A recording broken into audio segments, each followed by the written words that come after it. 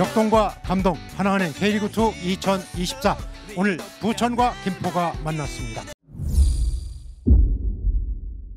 야, 자, 루페터. 이걸 네.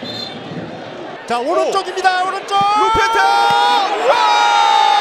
골대를 맞았습니다 골 크로스와 상단 아 이번에는 아주 기가 막힌 슈팅이 나왔었는데요 앞쪽 그렇죠. 끊어줬고요 아직 처리 안 됐어요 헤더 넘어갑니다 코너킥입니다. 올라가서 직접 슈팅 아 허를 찔렀는데 김정현 골키퍼가 위치를 잘 잡았습니다 네.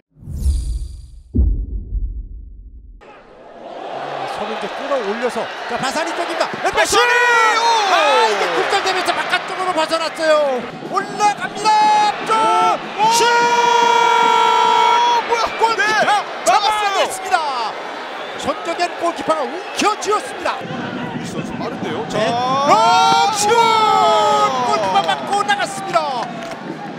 자. 루페타 넘겨주고 유영!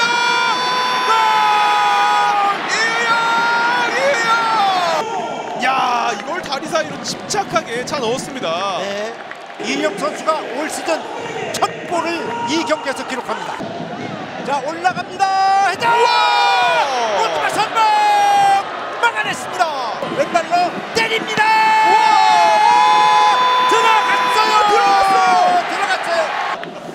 자 김선호 선수의 쐐기골로 2대 0으로 달아납니다.